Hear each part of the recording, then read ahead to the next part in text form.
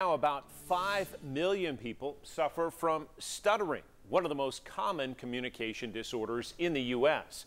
One author in Blount County is using art, writing, and musical theater to reach young people facing a challenge he worked hard to overcome. Here is 10 News reporter Maria Guzman. I can't talk without stuttering. For Vince Vawter, words on paper are easier to trust than words on air because for him, it takes him a bit of a time to say them. Gentle air. And that paper boy was me. I stuttered I stuttered horribly.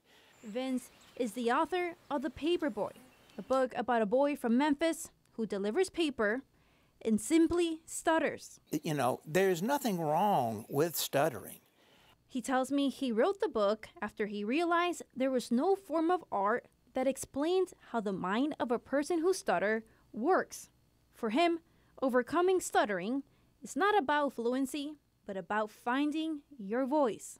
And so he did. Just just find your voice and say what you want to say.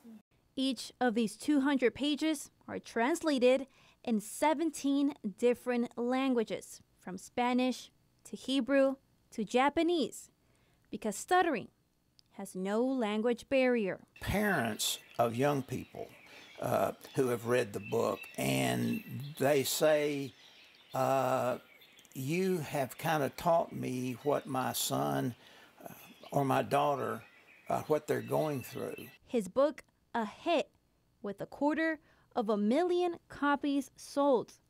Now on the way to a stage in New York where students at the Manhattan School of Music will bring the story to life with one message. Your stutter should not keep you from being uh, who you are. I trust words on paper a lot more than words uh, in the air.